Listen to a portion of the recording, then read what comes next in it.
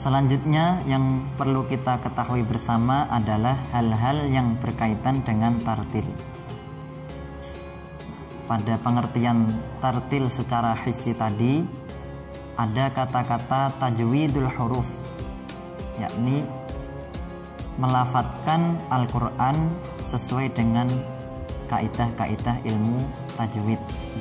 Sehingga yang paling utama untuk kita ketahui adalah ilmu tajwid. Sebelum kita mempelajari ilmu tajwid, kita perlu mengetahui apa pengertian dari tajwid itu sendiri. Teman-teman semua, tajwid secara bahasa berarti al-ijyanu bil jayyid, mendatangkan sesuatu dengan baik seperti yang terdapat dalam kitab Hidayatul Mustafid fi ilmi tajwid.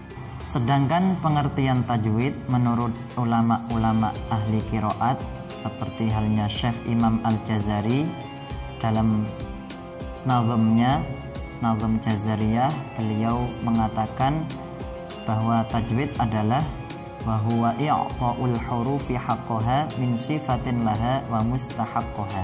Pengertian tajwid yang pertama yakni melafatkan huruf-huruf Al-Quran sesuai dengan karakter atau sifat yang selalu menetap pada huruf-huruf Al-Quran. Dan juga melafatkan huruf-huruf Al-Quran sesuai dengan mustahaknya. Mustahak yakni sifat-sifat yang kadang menetap pada huruf itu kadang tidak.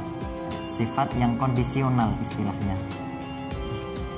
Seperti contoh huruf jim jim huruf jim ini memiliki sifat jahar tidak keluar nafas. Nah sehingga sifat jahar ini harus kita tetapkan atau berikan kepada huruf jim agar bacaan kita sesuai dengan kaidah tajwidnya.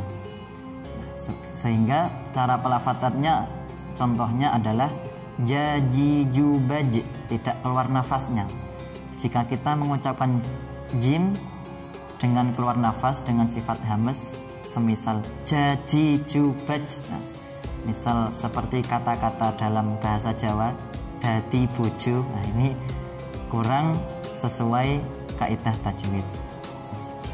Dan juga kita harus mengucapkan huruf sesuai dengan mustahak atau sifat kondisionalnya dalam kaidah tajwid. Contohnya seperti nun sukun atau tanwin. Nun sukun atau tanwin misal ketika bertemu dengan huruf halki atau huruf-huruf yang keluar dari tenggorokan ini dibaca ilhar, jelas tidak dengung. Seperti lafat man amana.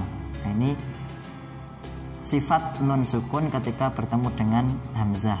Tapi ketika nun sukun atau tanwin ini bertemu dengan huruf lain seperti huruf jim, huruf dal atau huruf ta Nah ini maka dibaca ikhfa dengan berdengung.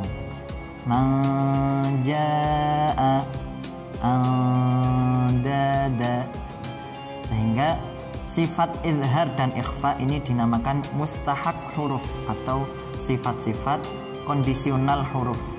Nah, ini harus kita praktekkan juga agar bacaan kita sesuai dengan kaidah tajwid.